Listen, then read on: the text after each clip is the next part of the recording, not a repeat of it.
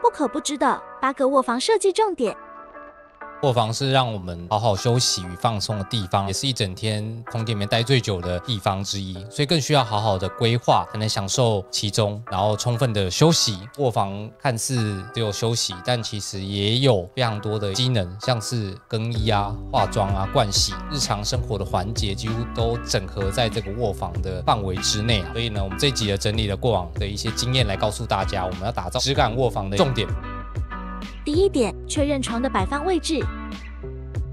我们讲到厨房就要确认琉璃台的位置，讲到卧房就要确认床的位置。很少的卧房面没有放床，床放的位置就有一些重要的细节要跟他讨论。文化上面会觉得说，梁如果压到床的话，对人的视觉感受不太舒服的，所以我们没办法闪开梁的位置的话，那我们就会用天花板的设计去弱化梁的视觉上面的压迫。确认格局，如果有厕所的话，是的，也要避免正好面对卧房里面的厕所。如果厕所的门没有关的话，它可能会有一些湿气，或是一些上厕所不好闻的味道啊，就会直接对着你的床铺。那其实这个卫生啊，还有观感上都不太好。再来是说，厕所一定会面对你的床铺的话，也不要打开，正好就是一个马桶，那可能是一个洗手台会比较适合。如果说床铺的位置它没办法闪开厕所的这个开门的方向的话，那我们建议把这个门改成隐藏门的方式，让这个厕所的门跟墙壁呢能够整合在一起，看起来就是一整体的设计哦。如果我们在视觉上看起来它就是一面。墙会比一道门来的更弱化它的这个存在感。另外啦，我们也不建议说卧房对外门啊打开就直接对到床铺的位置。你可以想想看，如果你在床上休息的时候，你的家人正好打开门，那一瞬间就看到你在床上的这个位置，会有点尴尬，或想不到的情况下会被吓到哦。所以我们要做这个调整，可以买一些现成的屏风来做这个视觉上面的阻隔啦，或者是说你可以放一些家具做一个遮挡，或是有些人会放一些门帘啊，一进来的时候可能还有一个门帘，要稍微遮挡一下。有些人真的会用这种。方式在既有的装修上面做一些强化。其实卧房床要放哪里，一开始就要决定，在还没有购买床就已经要跟设计师沟通好，还会搭配相关的位置，都可以确认清楚。对，或者硬硬的方式，我们可以借由设计的手法来弱化一些劣势。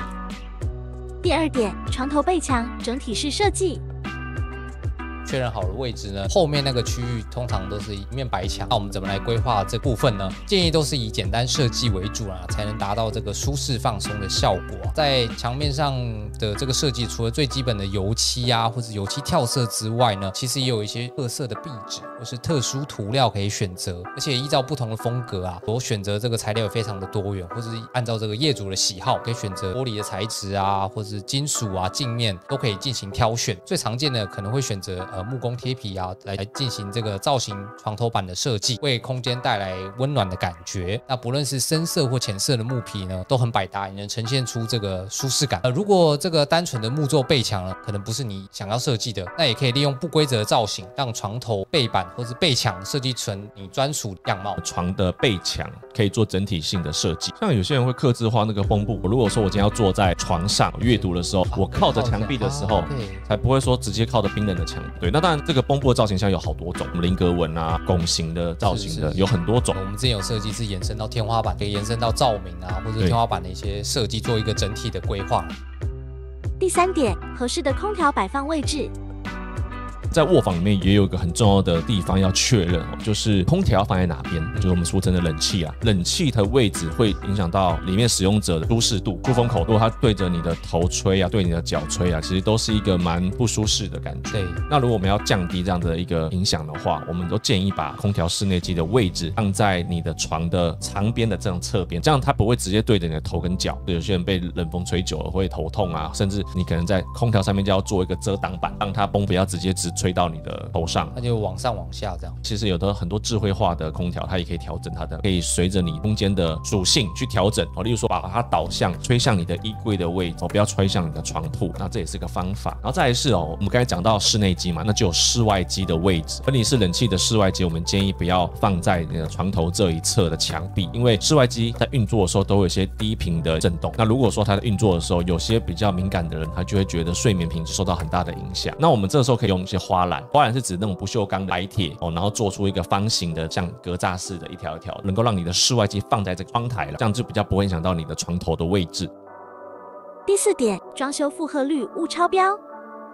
由于卧房跟这个客餐厅相比之下，平数一定是比较小、比较封闭啊，或者说摆放家具也比较多，所以说装修时所用的材料就相当的重要，整体的柜体数量也要特别的注意啊，过量呢就会造成这空间里的这个装修负荷率超载，而且呢也建议在卧房刚装修了完成的时候要保持良好的通风状态，让这个装修过程中难免会产生一些有害的一些气体可以顺利排放到这个屋外。那木作或是定制的这个家具之外，你还是会添购一些床罩组或者是卧房面有可能会有一些小沙发，这些新天购的家具呢，其实也会产生甲醛或是有害的一些气体，也建议说先打开这些柜体的门片或抽屉，让它这个通风换气啊。如果你要确定你的室内环境是否空气品质是健康的，建议你把你的这些柜体的门片、抽屉都拉开之后，静置一个小时，包括对外窗都关闭起来。然后呢，一小时之后，由空气的检测仪器去做检测，一旦有超标的话，就一目了然。这是最正确的做法。你要在一个最严苛的情况下去做这个检测，才会符合安全的指标。大多数人觉得我买了空气清新机就直接放在卧房的一个角落，可能靠近你卧房里面一个垃圾桶旁边，或者是你的书桌的下方哦，因为尽量不要挡到你的走道动线。恒心的建议，请你放在你的通风路径，例如说你的卧房有一个对外窗，或是说有一道门是通向走道，通常这个地方是属于通风换气的路径，可以放在这个位置。这个逻辑很简单，就是我的这些新鲜空气进到室内的时候，一定要有过滤的效果，带到我们的人体，它才会经过一个有效的隔绝。如果今天我是放在我的室内空间的角落，那等于是空气先经过我们人，等于是我们人帮空气清新机过滤空气，那就没有过滤效果了哦。所以这个是放的位置很重要。来来来，这是一个分享室内装修知识的频道。如果你也是对装修有兴趣的朋友，请把这个频道订阅、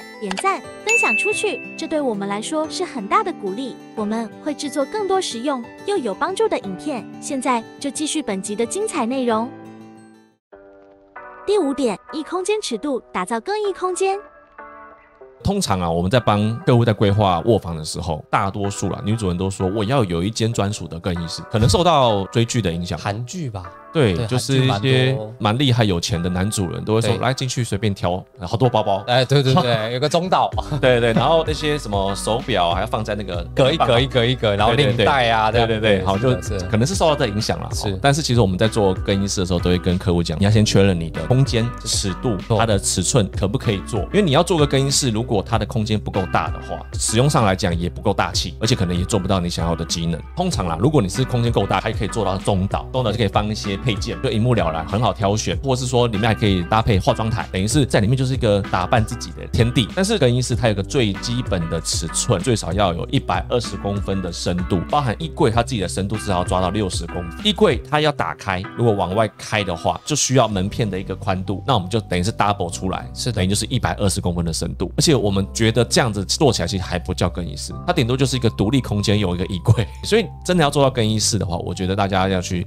确认一下你的室内空间到。底符不符合这样的条件？硬要做，可能你还要牺牲掉一部分你卧房的空间。像我们一般衣柜啊，都是长时间保持关闭。再加上如果你的衣柜它本身没有做任何镂空或者排气孔的话，那它里面的这个空气啊，它是密闭的。对，而且我们做完，假设你这些柜子啊，甲醛逸散出来的浓度越高的时候，它就会粘附在你的衣物上面，然后你再穿上去，最毒的情况下，当你皮肤就过敏。所以我们都会建议衣柜也好，更衣室也好，我们要把这个门片都打开。打开之后呢，里面再做通风换气，说用电风扇直吹，让里面的这个空气能够导出来，因为它里面旧。空气嘛，新空气把旧空气稀释掉，啊，推挤出来。其实衣服啊，你很难保说它的状况有没有一些湿气或是霉菌，那它就会一传二，二传四，越传越多。然后你就发现你的衣服拿出来就哎，怎么会有白白的一片？事实上你都没有穿过，有可能是落尘啦。其实空气中也有一些自然的菌丝嘛，不是说它有没有穿过的问题。对，所以还是要常保通风换气才是使用衣柜的方法。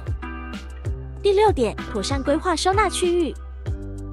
衣柜里面会有衬衫、长外套啊、裙子、洋装，能根据男主人、女主人啊的需求来设定衣柜的宽度以及高度跟长度。因为裙子也不希望它吊起来的时候就皱褶在一起啊，所以呢，我们需要好好的来规划一下每一格的空间，然后每个人的收纳量，来把不同的衣物归纳在不同的格子里面。例如呢，像居家服啊、运动服啊，都可以适合折好放到整板的收纳区；内衣裤啊或袜子就可以放到抽屉为主。衣柜呢，整体的收纳也需要考虑到大型的物件。件，例如有一些冬天的棉被啊，要换季的时候怎么更换，是不是就放在我们的这个钓鱼区的上方有一层四十到五十公分？一般来说，我们的衣柜大概做两百四，所以两百公分以上那个区域就会来设计成棉被的收纳区。就像是一个叠柜的设计，柜子上面再叠一个柜子。另外，衣柜呢，想要看起来不杂乱，除了做好收纳之外呢，活动家具的选择也非常重要了，尽量不要选太高大的家具，不要超过你的身高太多，造成这视觉感的压迫。不用上，对也要拿一些梯子来做辅助。有时候不小心碰到或撞到，容易倾倒撞伤人，或是撞伤小朋友这样。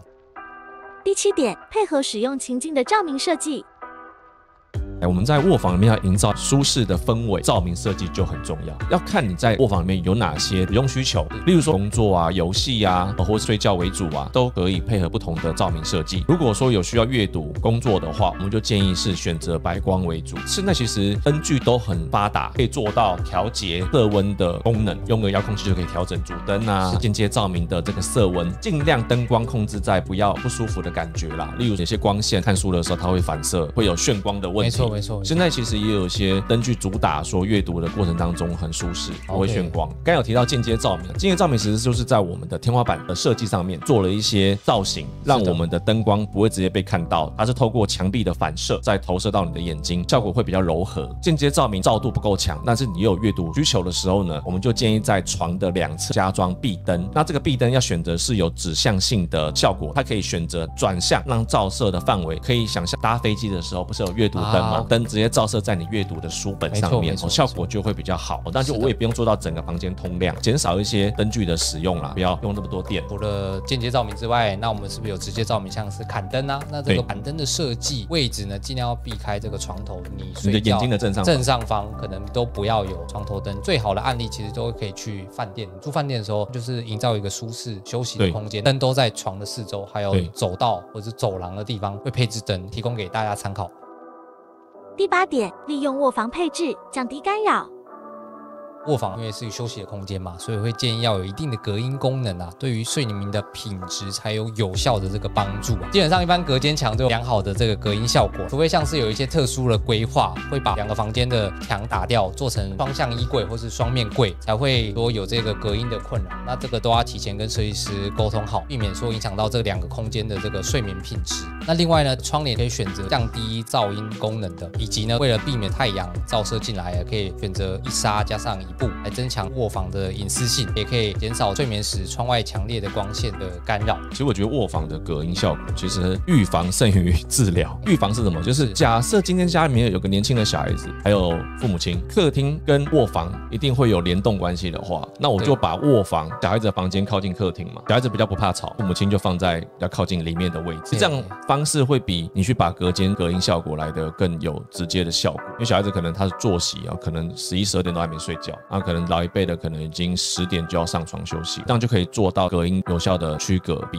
做隔音来的更直接，而且还可以省掉一笔装修预算。那另外隔音的部分呢，是不是只能防止我们的噪音去影响到他人？是不是我可以加装什么样的天花板，避免说楼上影响到我？对，其实效果都很有限。假设我是要避免别人影响我，不管是我们提到的漏水或是噪音，其实我们能够做的都很有限。我今天要做一个保温杯，我要让人家不要影响到我，我就要做一个隔热层。我要减少别人对我的噪音影响，我就要做个隔音层。那事实上，你都要适时的让你的天花板让出一个空间，一个高度，这高度就是来做隔音用的。可能也要看你的居家的这个高度够不够。如果今天你就是一般的中古屋，它可能只有两百多公分，那你又做一个隔音层，那就会压迫到你的使用的这个视觉上面的感受，而且效果还是有限的。好了，这就是本集所有的内容。如果你有任何装修需求或疑难杂症，可以扫描目前影片中的 QR code，或是点选影片下方资讯栏的连接，就可以联系到我们进一步咨询哦。想看更多有关装修知识的内容，可以观看我们推荐的这些影片。那我们下部影片见喽，拜拜。